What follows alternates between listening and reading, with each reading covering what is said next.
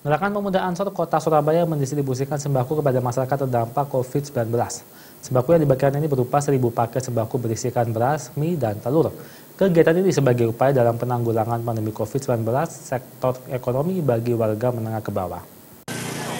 Pimpinan Cabang Pemuda Ansor Kota Surabaya menyalurkan bantuan sembako kepada masyarakat yang terdampak langsung akibat pandemi COVID-19. Penyaluran 1000 paket sembako yang berisikan beras, mie, dan telur ini dibagikan kepada warga menengah ke bawah yang terdampak langsung adanya pandemi COVID-19. Masing-masing satu keluarga mendapat 5 kg beras dan satu pak mie goreng dan telur. Pembagian 1000 paket sembako ini sebagai wujud kepedulian kepada masyarakat di tengah melemahnya perekonomian warga selama pandemi COVID-19, sehingga dapat meringankan beban mereka dalam kebutuhan selama COVID-19.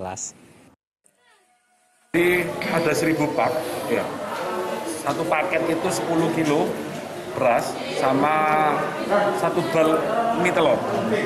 Itu 1000 pak itu 300 untuk keluarga Banser.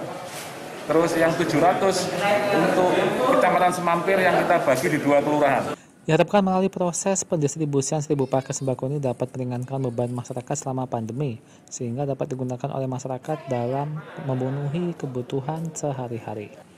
Agung Dharma, Surabaya TV.